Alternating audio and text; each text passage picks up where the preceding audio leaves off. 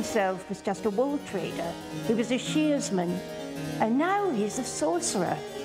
How else but by being a sorcerer would he get the reins of power in his hand? Cromwell would be very hard to write a biography of. His public life is extensively documented and his private life is almost entirely off the record. So there would be areas where a biographer would have to stop. But really that's the point at which the novelist gets going. There are lots of books that say Thomas Cromwell on the spine, but there isn't a man inside them. A man's power is in the half-light, in the half-seen movements of his hand and the unguessed-at expression of his face.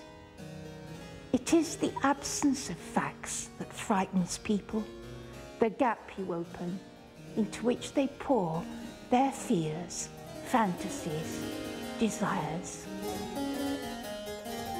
Of the figures of the time, he seems to be the one for whom the arrow is pointing firmly to the future.